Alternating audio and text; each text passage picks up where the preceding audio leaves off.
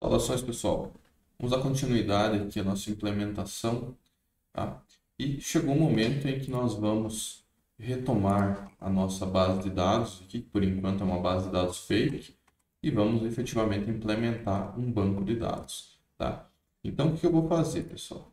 Vou mostrar alguns recursos para vocês aqui e nós vamos utilizar um serviço em nuvem, tá? Então, nós, seguindo a, a, a diretriz de nós criarmos uma aplicação distribuída que vai rodar totalmente em nuvem, né, nós vamos fazer uso também de um banco de dados é, hospedado por uma segunda, terceira ou quarta empresa aqui envolvendo o nosso sistema. Tá? Então, o que nós vamos fazer, pessoal? Eu vou utilizar aqui um, um banco de dados Postgres, tá? No caso aqui eu estou usando um cadastro no Elephant SQL, tá? Plano gratuito aqui só para experimentos mesmo, né? Mas existem várias alternativas para isso, né? A melhor de todas que eu trabalhei até hoje, a, a que eu mais trabalhei, na verdade, foi o, o Hiroko. Né? Só que os serviços gratuitos do Hiroko vão ser limitados agora em novembro, então eu optei por não incluir ele aqui na, na disciplina. Tá? Mas fora isso, temos o Elephant SQL aqui que eu estou utilizando, temos o Railway, Amazon também é possível utilizar, né? Inclusive esse cara aqui ele usa o Amazon por trás dos panos, né? Mas enfim, tem é, diversos bancos ali, né? Inclusive Tratando-se do ORM que a gente vai utilizar que é o Prisma, nós podemos inclusive utilizar Mongo, né? Então, o Mongo Atlas lá gratuitamente né, também é possível, né? Tem uma série de alternativas aqui que a gente pode utilizar, tá? Eu vou fazer com o Postgres, que é o, o, o mais comum, assim, da gente encontrar, tá? Então, eu só fiz um cadastro aqui, fiz um login com o GitHub mesmo e criei uma nova instância aqui usando o plano gratuito deles. Então, ele já me deu credenciais aqui, né? Que inclusive depois eu vou rotacionar aqui para não ter problemas com o vídeo, então vou, deixar público mesmo isso aqui, não tem problema vocês verem por enquanto, depois eu, eu rotaciono as credenciais aqui, tá? E a ideia é o seguinte, pessoal, tendo um banco hospedado uh, remotamente, nós precisamos ter uma URL de conexão, tá? Que é esse cara aqui, né? Postgres, dois pontos, aí tem o nome do usuário, tá? o servidor e, por fim, o nome da base de dados. Aqui é tudo gerado aleatoriamente, tá? Eles geram isso aqui para gente, né? Essa base aqui ela tem um limite de 20 megas, aqui para os nossos experimentos não vai ultrapassar, tá? E ela tem um limite de 5 conexões simultâneas neste serviço aqui, tá? Nesse plano Tiny Turtle aqui, beleza? Então assim, dito isso, pessoal, nós vamos manipular esse banco de dados através de um ORM. Tá? Então nós vamos usar o Prisma aqui, que é um banco bem, um ORM recente, né? Funciona muito bem com um ambiente Next, tá? Então ele é um, eles até citam, né, que é o, o banco perfeito para ser utilizado com com Next, né? Mas, enfim, você pode usar qualquer coisa com Next. Mas vamos lá. Esse RM que eu acho bastante interessante, ele abstrai muita coisa e ele gera para nós já toda uma estrutura é, em TypeScript que a gente pode utilizar dentro das nossas páginas. Né? Então, essas informações que a gente está utilizando, a intenção é que elas sejam é, recuperadas e cadastradas lá do banco de dados. Nesse processo eu vou mostrar alguns detalhes do Prisma aqui também bem interessantes para vocês, beleza? Então eu estou com um projeto é, rodando aqui, tem, né? Se a gente observar aqui, eu estou na branch main. Como eu vou fazer vários experimentos agora, eu vou migrar para uma branch separada, né? E isso aqui vai ser um processo que eu espero que vocês façam também no nosso projeto original. Então, vamos lá, git checkout "-b", eu vou criar aqui database. Então ele já migrou aqui né, para a branch database. Então tudo que eu fizer aqui, a Vercel não está observando. Então ela não vai fazer deploys automáticos a partir disso. E se alguma coisa der errado aqui, a gente pode reverter. Tá? Então é, fica essa opção. Beleza? Vamos lá. Inicialização do nosso banco de dados. Antes mesmo da gente trabalhar aqui com Grant, Computers e tal, eu vou fazer o seguinte, pessoal. Vou criar uma configuração inicial do Prisma para que a gente possa conectar lá no Elephant SQL. Tá? Então, se a gente observar aqui no, na, na parte de documentação, Get Started, nós temos aqui toda uma diretriz, uma diretriz do que fazer. Né? Nós já temos um projeto em TypeScript e tudo mais. O que, que nós precisamos? Adicionar o Prisma. Né? O comando que tem aqui é para npm. Só que como nós estamos usando yarn, eu só vou adaptar, né? Então, ao invés de menos menos save dev, eu vou utilizar menos menos dev, tá? Que é o equivalente lá no, no yarn. Então, yarn added, prisma, menos menos dev. Isso aqui faz com que o menos menos dev faz com que o Prisma seja é, instalado como uma dependência de desenvolvimento. Tá? Então ele, ele tem como se fosse um, um CLI que roda em modo de desenvolvimento e ele gera uma build do nosso ORM para é, rodar no lado do cliente em produção. Tá? que mais? Aqui eles estão utilizando o SQLite, né? a partir de agora a gente já pode usar o NPX Prisma aqui, eu vou utilizar Postgres, né? então a única alteração que eu vou fazer no comando aqui vai ser PostgreSQL, que é o driver do Postgres para eles. Olha só, aqui ele já gerou algumas coisas para nós. Se a gente começar a observar, nós temos um ponto .env com um database URL aqui padrão, né? De, de exemplo, tá? E nós temos também uma pasta Prisma aqui que ele acabou de gerar. Olha só. Então ele já gerou aqui um client para isso, que ele está buscando a nossa URL de conexão lá do ponto .env. Né? Então ele faz isso automaticamente. A única coisa que eu preciso fazer aqui é adaptar esse cara né, para que ele conecte no nosso banco de dados aqui. Antes de mais nada, pessoal, eu quero comentar um pouco sobre esse ponto .env. Vocês vão observar que ele já está aqui no, no gitignore. Deve estar. Se ele não tiver, não tem que colocar. Aqui, é ponto .env, qualquer coisa, ponto local. Né? Para a gente colocar ele especificamente também. Né? Por quê? Ó, agora ele ficou cinza aqui. Ó. Esse cara não pode ir para o repositório. Tá? Então, o gitignore vai ignorá-lo. Né? Isso é muito importante. Se as suas credenciais estiverem aqui e elas subirem para o repositório, qualquer um que acessar esse repositório Git vai conseguir logar no teu banco. Tá? É, alguns serviços eles te avisam de cara. Eu já fiz esse tipo de, de engano, aí, vamos chamar de engano com o Google, e em questão de segundos eu recebi um e-mail dizendo que minhas credenciais estavam vazadas na internet. Aí, instantaneamente, eu tive que ir lá e é, rotacionar elas, gerar credenciais novas e invalidar aquelas velhas. Né? Então, assim, não deixa o ponto .env público. O que, que a gente faz? Copia esse cara e chama ele de ponto .env ponto .example. Esse cara aqui, você não coloca no gitignore, você deixa ele ir para o repositório à vontade, só que você não coloca as suas credenciais, você coloca variáveis de ambiente de exemplo. Para o cara que for configurar o teu teu sistema para rodar em outra máquina, num container, alguma coisa, saiba o que tem que fazer. Você vai deixar exemplos. Então, se eu tenho um secret lá, eu vou colocar aqui your secret, por exemplo, o cara saber que tem que colocar essa variável secret no ponto .env. Né? Mas nunca deixa a tua original. Então, simplesmente eu coloquei aqui .env.example e agora aqui no meu ponto .env eu vou colocar a minha variável ultra secreta aqui que vocês estão vendo. Aqui, ó. Tá? Então, essa foi a configuração inicial do Prisma. Só vou criar um commit aqui, utilizando o meu atalho lá do, do, dos commits. Ele faz um git add, git commit.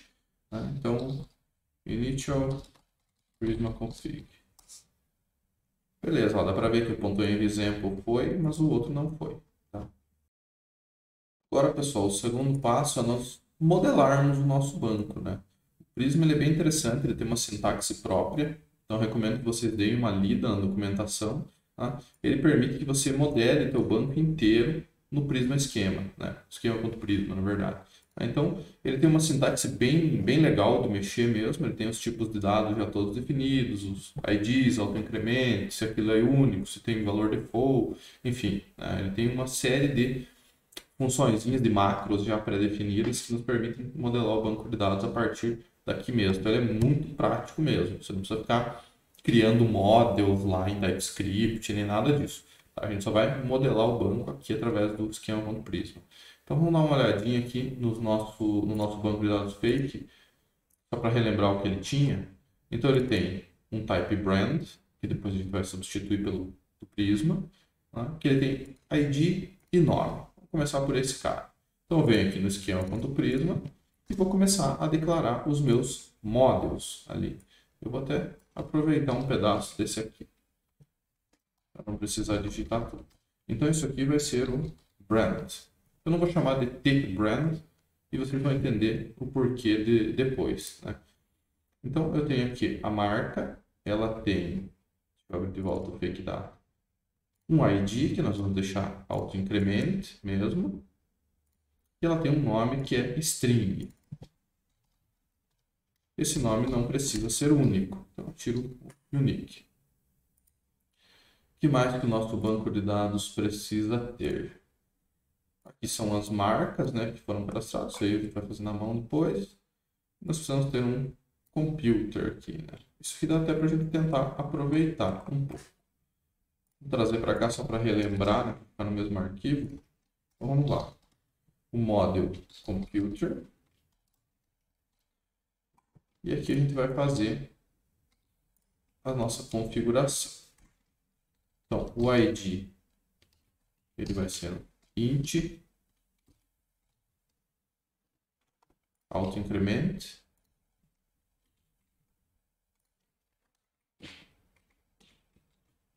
vou dar uns tabs aqui só para ele ficar todo alinhado. CPU é uma string RAM é... vamos utilizar int mesmo para dar uma olhadinha nos tipos de dados do Prisma depois para é, eu não lembro se é float que ele usa ou se é, é natural. Prisma Data Types. Olhadinha aqui só. Os tipos de dados que ele tem. String, boolean. Ele suporta enum, isso é muito legal. Deixa eu dar uma olhada se ele tem float. Não, float não tem. Eu encontrei lá, pessoal, ele tem float sim e eu já mapeei as outras. Agora, uma coisa interessante que nós temos aqui no, no modelo do Prisma, nós podemos criar relacionamentos direto. Né? Vamos pensar aqui os nossos computadores. Né? Uma marca possui múltiplos computadores e um computador pertence a uma marca. Então, o que a gente pode fazer aqui? Se uma marca possui múltiplos computadores, ela pode ter aqui uma variável computers, que é do tipo array de computer. O que ele vai dizer aqui é que nós precisamos finalizar esse relacionamento fazendo o, mapeamento oposto. Né? Então, se uma marca possui múltiplos computadores, um computador pertence a uma marca. Então, eu tenho aqui um brand, que é do tipo brand.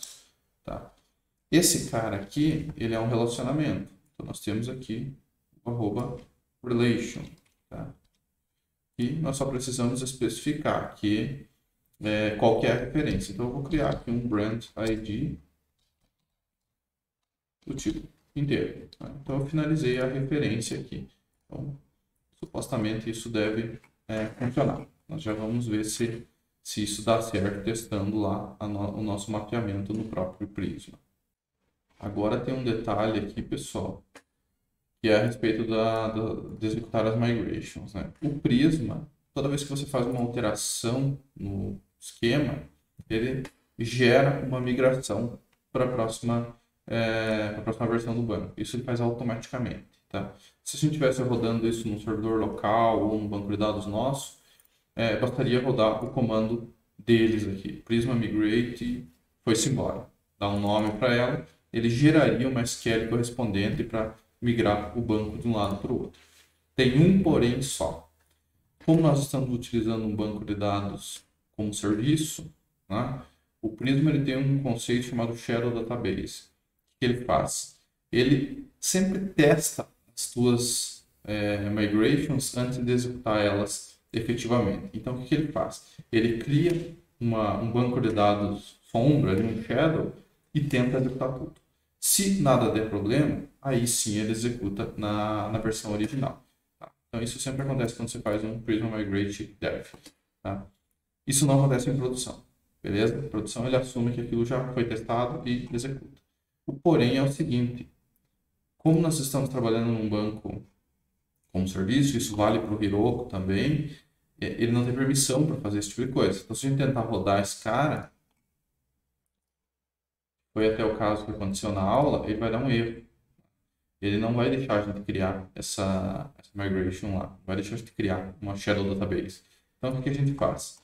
A sugestão aqui é que se a gente estiver apenas prototipando, tem um comando que você consegue forçar isso. Você faz um db push, ele sobe e tenta executar tudo né? na, na base original.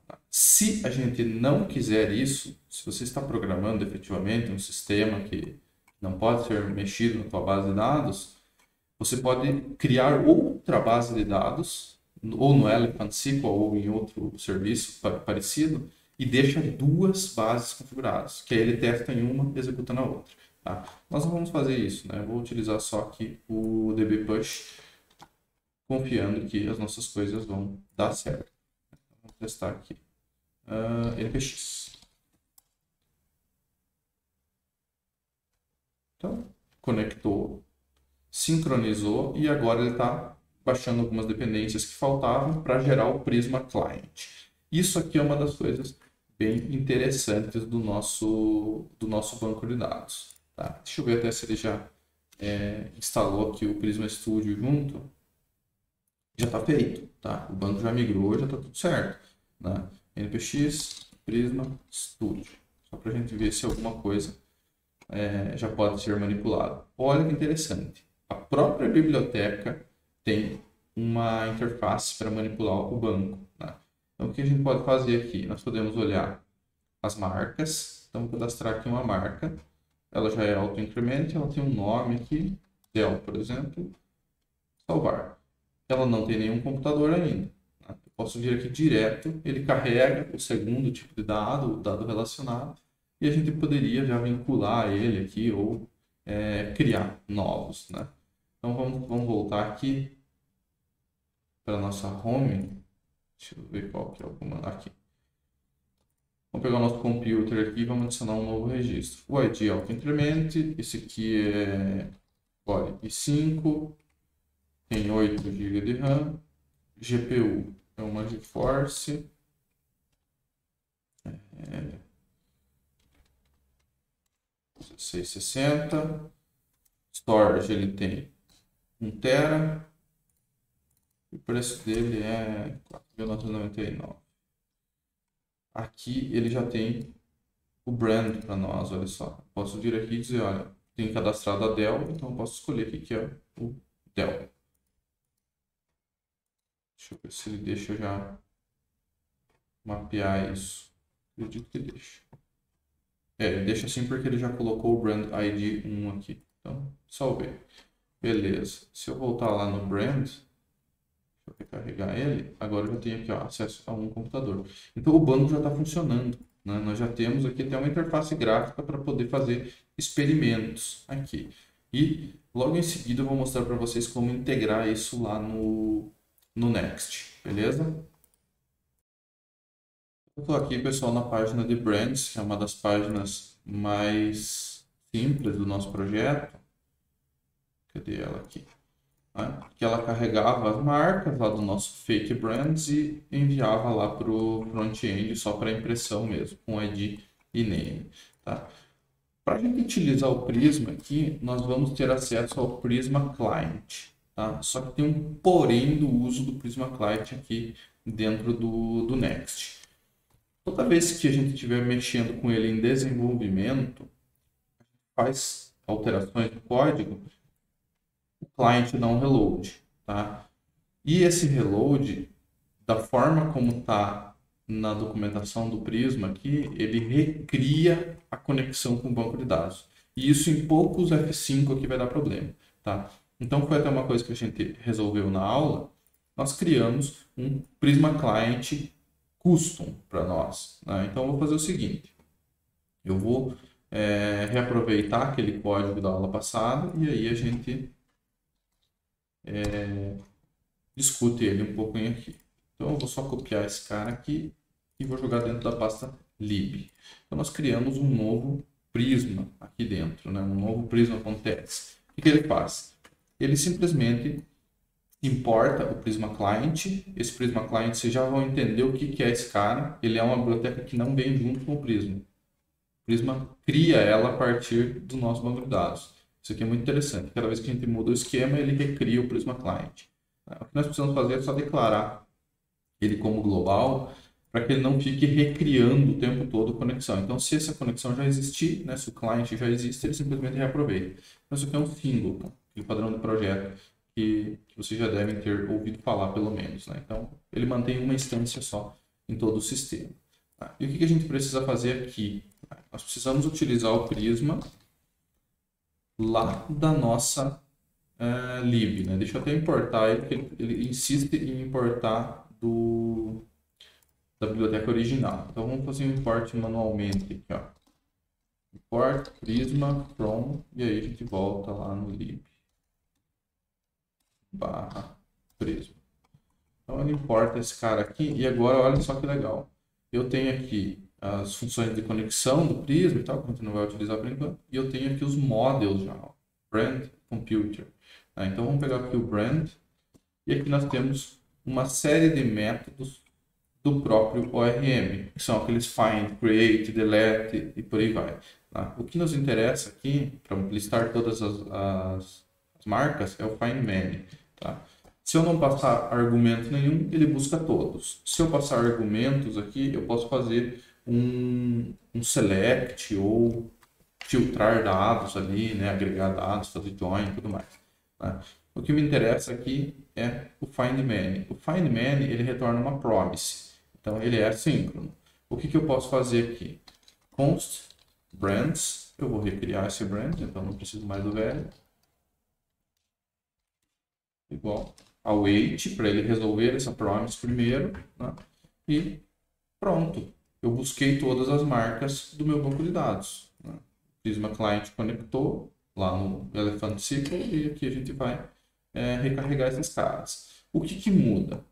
Muda que agora o array que eu estou recebendo aqui não é mais do tipo tbrand, que era aquele nosso banco de dados fake.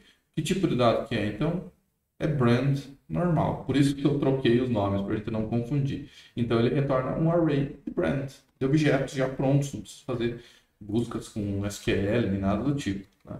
Então, se ele está enviando para lá brand, eu só vou dizer que aqui o meu array é do tipo brand. E esse brand eu importo do Prisma, porque é o Prisma que está gerando. Não preciso mais do banco velho. Aqui os nossos atributos são os mesmos.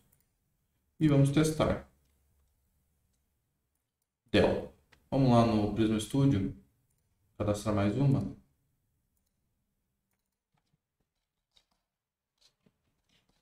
De novo. Vamos colocar mais uma aqui. É, sei lá, Acer. salvei, estou manipulando pelo Prisma Studio. Ainda não estou fazendo integração de escrita de dados é, via Next. Olha só, está tudo funcionando, beleza? Então, assim que a gente utiliza esse banco de dados aqui, a gente só precisa ir substituindo as coisas para fazer tudo funcionar, tá? Aqui na parte de computers não vai mudar muito, né? Nós estávamos carregando os fake computers, então vamos fazer a mesma coisa, só é, trocando aqui do fake data pelo do Prisma. Eu vou fazer aqui e já retorno para explicar o código para vocês. Então, pessoal, aqui eu fiz, eu fiz várias alterações nessa página e vamos passar uma por uma. Primeiramente, o tipo de propriedade aqui da nossa página, que antes era T-Computer, lá dos nossos fake computers, agora é só computer. E como o dado computer, né, o tipo já existe, eu só renomeei aqui para page computer, porque estava batendo, né, estavam os dois iguais, né, isso não, funciona. Então eu só renomeei para página computer e aqui o tipo de dado computer mesmo. Tá? Agora aqui mudou bastante coisa. Se a gente observar o, os static props, na verdade vamos começar pelo static paths aqui, que é o que ele faz primeiro. Então antes nós só carregávamos os computadores. Né? Agora a gente fez um find many para carregar todos. Né? E aí, o, o mapeamento aqui para gerar os PEPs foi o mesmo, porque a gente só precisou buscar o ID de cada computador, ele gerar aquela lista de PEPs. Tá? Feito isso, antes nós recebíamos um ID e fazíamos um filter aqui é, manualmente. Tá? Agora nós temos métodos do banco de dados que fazem busca. Então, eu fiz aqui Primeiramente, nós tínhamos string e nós estávamos comparando string. Então, eu só fiz uma conversão para int aqui, para que o meu id seja sempre number, tá? Então, eu fiz um parse int aqui, dizendo que o id, quando ele existe, sempre vai ser string, tá? Só obtive o id como number, beleza? E aí eu posso fazer o seguinte, lá, em vez de buscar um many, eu faço um find unique, para buscar um só, né? Aí, aqui dentro, o where do SQL, né? Quando o ID for ele mesmo, né? ou simplesmente assim também funciona. Eu só deixei assim para ficar mais legível, para você saber o que está acontecendo. Então isso aqui veio da documentação e agora ele já está funcionando, ele está buscando lá o computer 1. Vamos criar mais um aqui, ó. Deixa eu recarregar a página. Ah, deixa eu só ver o que aconteceu aqui. Se ele acusou um erro, vamos reiniciar o estúdio.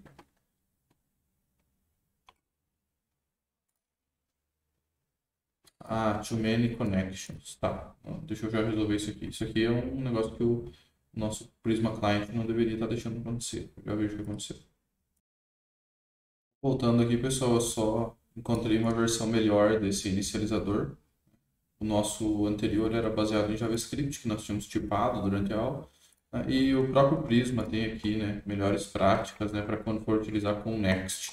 Então ele já te dá um Prisma Client pronto aqui, na verdade é só substituir lá. E vamos em frente. Acredito que deve ter resolvido. Tá? Então, aqui pessoal, nós estamos com o Prisma Studio rodando também. Vamos criar um novo computer aqui.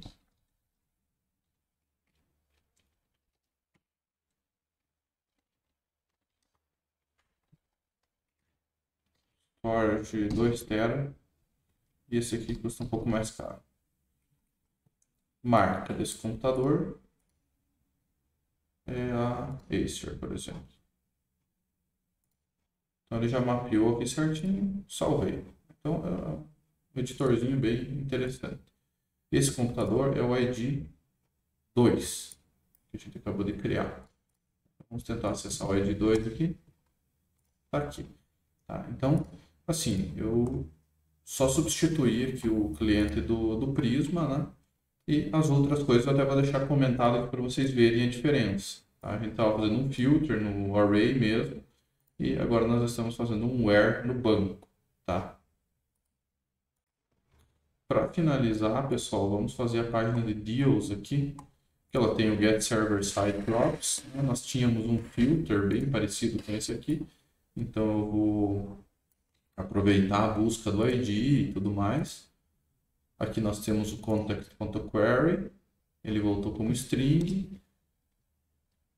E aí eu preciso só fazer um ID number aqui, né? Que vai ser um parseint do próprio ID. Aqui ele vem como ID, nome, né? Ou poderia ser um parseint contact.query.id, né? Mas fica maior. Então, o Selected Computer aqui, nós vamos ter que importar o nosso Prisma e aqui tem que tomar cuidado também para não importar do lugar errado. Né? Importar o Prisma. Agora, esse módulo novo que eu copiei lá do site do Prisma, ele vem com importação independente, não global, né? não é um export default. Pronto. Então, ele só vai entre chaves, né? A única coisa que. Beleza. Beleza, o selected computer, nós vamos usar o ID number para buscar ele aqui. Este cara está uh, redeclarando, sim, tem um aqui embaixo, vamos excluir esse cara. Então, selected computer, antes nós estávamos fazendo um filter nele aqui, trocando o price, né, para trocar o objeto uh, sem mexer no fake data que nós vamos fazer aqui é, se ele existir, aliás, ele sempre vai existir, né? Porque nós vamos buscar um ID supostamente que, que funciona. Né? Dá até para colocar entre if isso aqui. Vou colocar os, as chaves aqui que ele para de. Aí. Então, se o computador existir, né, eu retorno, senão ele vai retornar nulo, né? Aquela página simplesmente vai bugar para o cliente. Se o cliente forçou um link que não existe, ele vai ver um erro lá, né? Mas aqui nós estamos substituindo o price do jeito que estava sendo feito. E acredito que só precisamos mudar aqui para computer. Isso vem do Prisma Client. Tá? Vamos lá para a página Deals. Special Deal e o nosso computador Ryzen, engraçado, também tem os dele. E aqui nós podemos buscar isso várias vezes. Tranquilo? Vamos fazer um negócio a mais nessa página, só para eu mostrar a questão do relacionamento. Deixa eu só me situar aqui. Aqui na sequência da documentação, pessoal, nós temos essa tag de inclusão, né? um exemplo aqui. Isso aqui é bem interessante. Ó. Aqui a gente está fazendo a busca, né? nós podemos, além do where, incluir dados agregados. Aqui, né? Então eu posso incluir quem? Brand, que é o que eu tenho. Né? Um computador ele pertence a uma marca. Então vou colocar aqui um true. Tá? Ele inclui o brand junto. Isso muda uma coisa. Isso muda o tipo de dado retornado pelo find unique. Então agora pode ser um computer ou um computer com brand, tá? Então o que a gente tem que fazer aqui? Em cima eu tenho que deixar igual. Então, vou só recapitular aqui. Computer, aí um e-comercial para juntar, fazer uma união de tipos. Né? Isso é muito legal do TypeScript. Você pode criar tipos a partir de outros que já existem, né? é, unindo eles, né? Um union, na verdade, que eles chamam. Então, é, vai ser um brand do tipo brand.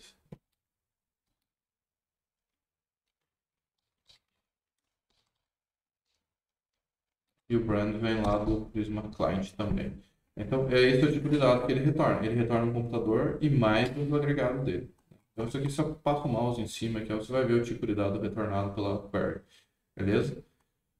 Incluído esse cara aqui, a gente pode imprimir ele só para ter uma noção do que, que veio. Vamos recarregar aqui, ó. ó. Ele vem tudo aquilo que a gente tinha e mais o brand. Então vamos lá. Se o meu data aqui é um computer with brand, ali, eu posso desestruturar brand aqui. Então ele passa a, pegar um pedaço daquela variável data. E aqui vamos colocar aqui um H2 para não dar tanta ênfase assim. Brand. Aí um span aqui. Vou colocar só o brand.name só para mostrar para vocês. Mas nós temos o objeto inteiro, ó, brand Acer. Então ele vem completinho, né, os dados ali do jeito que a gente buscou. Tá? Eu acredito que da parte de banco era isso. As outras páginas não tem nada né, de, de banco. Tá? O que, que muda, pessoal, em relação a, a que a gente fez consulta só, né? Se você for fazer escritas de dados, aí você precisa utilizar uma rota de API. Tá? Aí aqui dentro você tem o, o isso aqui vai rodar em back-end, né? Então você poderia vir aqui, por exemplo, uma rota de, de API, importar lá o prisma.brand, create, por exemplo, e criar a partir dos parâmetros que você vai desestruturar da, da requisição aqui do REC. Tá? Então, é, é uma opção aí para quem quiser é, se aprofundar um pouco. Tem exemplos do create aqui na documentação do, do Prisma mesmo, no próprio Quick Start aqui tem. Né? Uma das primeiras coisas que ele faz é o create aqui, ó. Então ele cria, inclusive, estruturado, já ele manda um usuário com seus posts e tudo, e ele cria tudo uma vez só. Tranquilo? Então, pessoal, eu vou deixar por aqui essa parte do banco, né? A nossa ideia era só fazer consultas mesmo. Conseguimos popular todas as páginas. Já está de bom tamanho. Acredito que o vídeo já ficou bem longo, incluindo todos esses quartos que eu fiz para otimizar. Então, até o próximo.